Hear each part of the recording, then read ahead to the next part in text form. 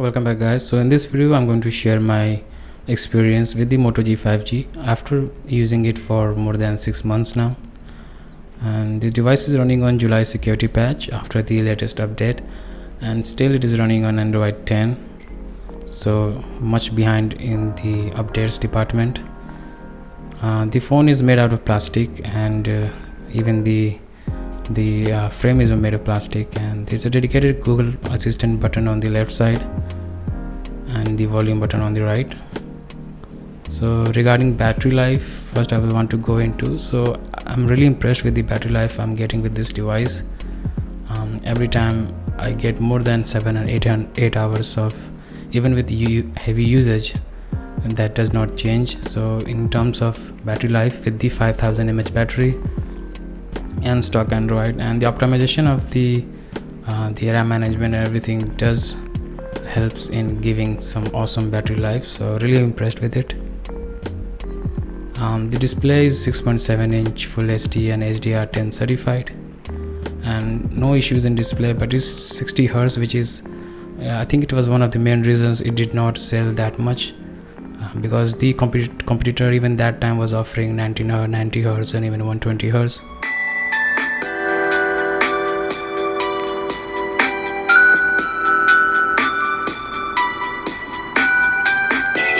the speaker quality is really good and even with a single speaker it performs really well. This had this ram uh, adaptive performance option which really helps in the ram management and it offers one of the best ram management in this in this price range. Um, no apps closer even after hours um, the app was still in memory so it works really well it also has this very cool feature where the fingerprint sits on the back of the phone in the moto logo. So you can just swipe down and the notification is expanded. So it makes it easier for one-handed usage. So yeah good use of the back fingerprint scanner. Now coming to the camera interface this camera interface is really great. The app just um, the app was updated when I received the phone and the updated app feels very similar to Gcam it has a lot of options and features.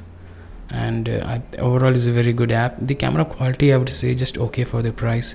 It has three cameras macro ultra wide and the main camera. No depth sensor but that's good. This is the macro camera and the macro camera does have autofocus so it's not useless and it does uh, takes us usable pictures. You can see the quality is not that bad at all one is the and there is an 8 megapixel ultra wide. This is the normal camera. The main one next it is the 48 megapixel um, it has the samsung gm1 sensor i think. So a sony sensor would have been better and the photos are just about decent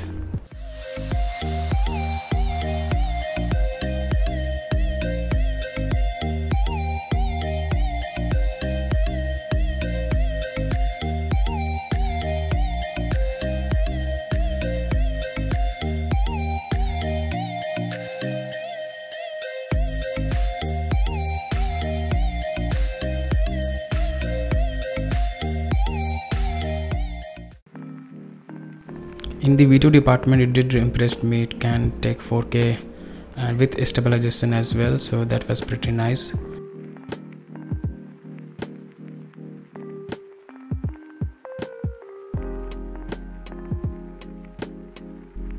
It also has this lens feature so in the camera app itself you can just point it out that something is a text or so you can translate know about it and it all uses the ai from the google to figure out what's camera is actually seeing.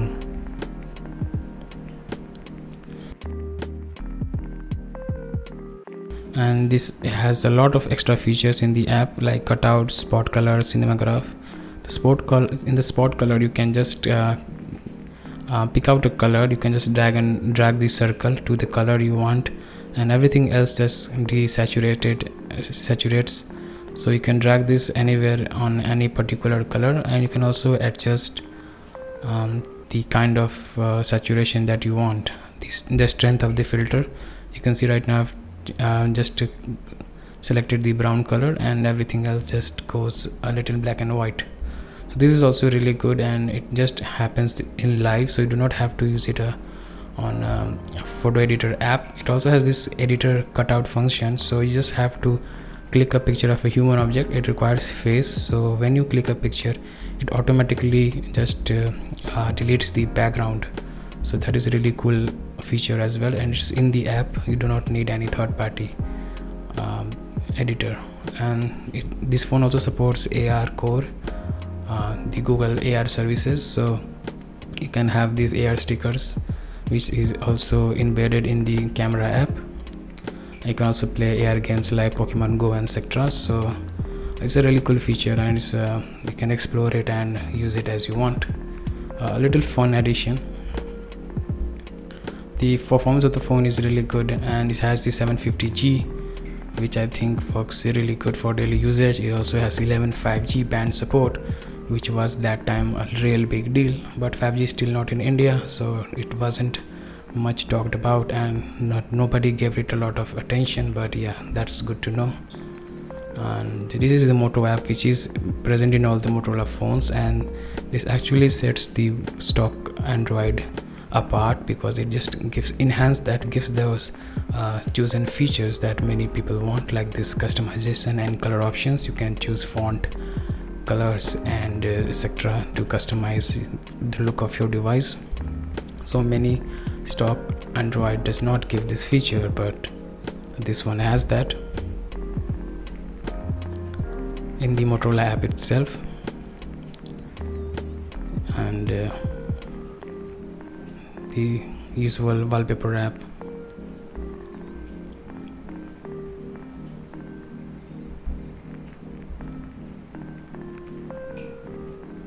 In the gestures it was also very iconic to Motorola the double twist to switch on the camera or the chop to switch on the flashlight. It's very iconic to Moto actions and this you can find it here as well. And they have also added a lot of other uh, gestures like uh, three finger screenshot. And you also get this option to scroll screenshot automatically to take a, a long screenshot. So it takes it automatically. You do not have to stitch it manually can be useful when you're taking screenshot of long web pages.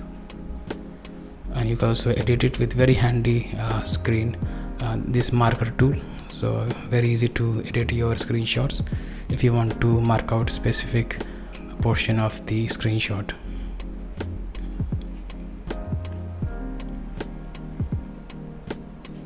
Lift to unlock just if your phone is lying on the table you can just pick it up and it will automatically unlock if you are have enabled the face unlock.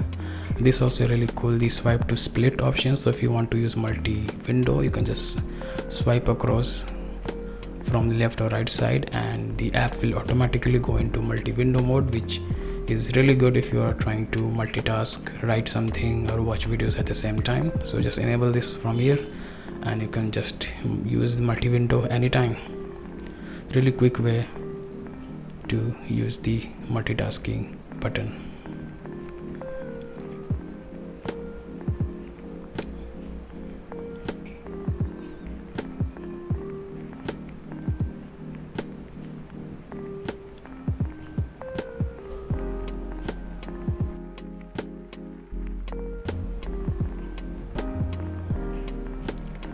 So overall i don't think motorola like at that time it was a really good phone and uh, i bought it because i thought it had stock android 5g and a good processor. It also had the 750g which was the first time uh, uh, launched in india. So it was a really good processor at that time as well. And i was a moto g5 plus user previously so i just upgraded from that. And i still do not i think regret that decision. And also i really like this moto display which is very uh, very good to have. You can just easily see all your notifications in just one when you just tap on your phone.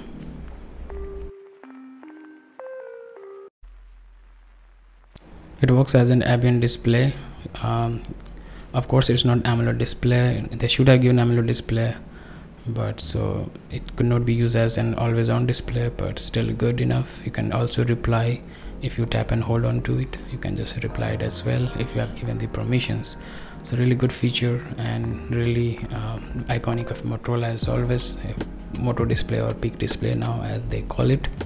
We have this new Google uh, the Motorola play game time.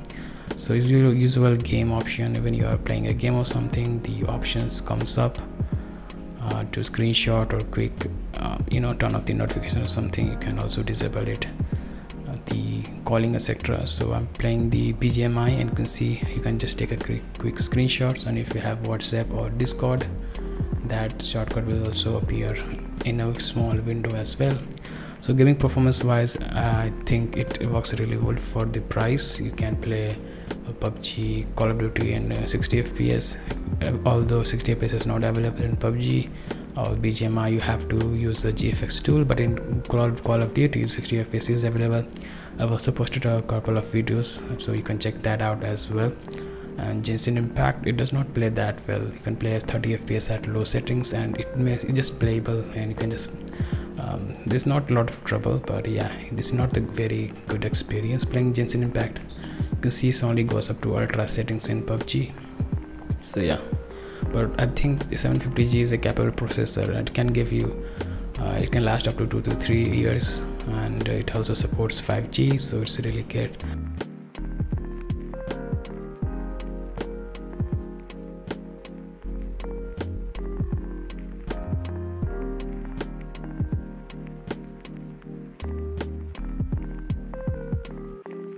I do not ex uh, experience any heating so it does not ever felt like it was getting hot. Um, I played a lot of Call of Duty and I never felt any issue. So I don't think this phone and so it has a plastic body. So yeah, no heating for me. So uh, gaming experience wasn't wasn't bad at all. So you can actually play games on it for longer period of time without worrying about the heating or the FPS drop.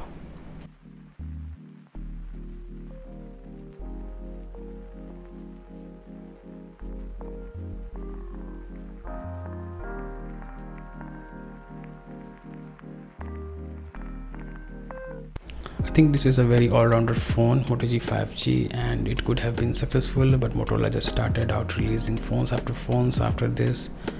Ignored this phone altogether like no support for a firmware like android 11 is still not here. Android 12 has already been released and they have providing android 11 on their older devices.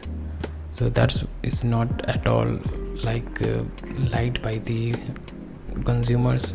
And there's also news of couple of bugs related to network and calls. And uh, i myself faced a bug with bluetooth wasn't working and i had to get the motherboard changed so it was a uh, hardware problem so quality control issue was also there. Um, and the lack of the features like 750g is fine but the camera is lacking and it is very bulky as 212 grams and uh, very hefty to use so and then on in one month after the Mi 10i launched with 120 Hz display slim design and 108 megapixel camera so there was no chance for moto. It only had stock long stack stock android going for it so maybe because of that people bought it but other than that i i don't think there wasn't any reason for anyone to buy this phone i just personally went for it because i was using moto g5 plus and i just thought i will continue with motorola. I don't think i regret the decision but yeah i think Mi 10i is still a better choice. Uh, stock android is what going for it. And now they have launched the moto edge and that is like crazy. If they have just put some effort in moto g5g it could have been really game changer because it was one of the few 5g phones at those times which has 11 5g 5g bands which was the most. And it had that uh, like usb for it but it, they did not upsell on it. They did not try to uh, market it that way or also like uh, provide support for it. And yeah maybe that's why it just failed. I think it failed because motorola g5g is out of stock on flipkart for months now and it did not receive a lot of sales and custom ROM development is also not very popular among it's only one developer working on it and there is an unofficial lineage for it but that's it. And um, yeah it's a good phone I would say it's an all-rounder phone if you want something stable. And also the pricing was a bit much it was released at 21,000 Indian rupees and they could have priced priced it at 17 18,000 like after sales they were selling it at for 19,000 so I think they could have gone for that as the launch price. But yeah that also was a bit overpriced for the offering. Like the display and the build and the camera wasn't up to the mark. What was going for it was the processor and the stock android so i think this is a good cam phone and uh, maybe you can find it if on used or refurbished you can go for it. But otherwise motorola edge the new edge fusion everything they are just perfect and you can just uh, uh, like take them over it any day. So i think motorola did it to it themselves and why the moto g5g failed so terribly. So that was it for my video and i hope you guys liked it. My thoughts on moto g5g and what i've experienced so far in six months. And uh, thank you for watching guys and i'll see you in the next one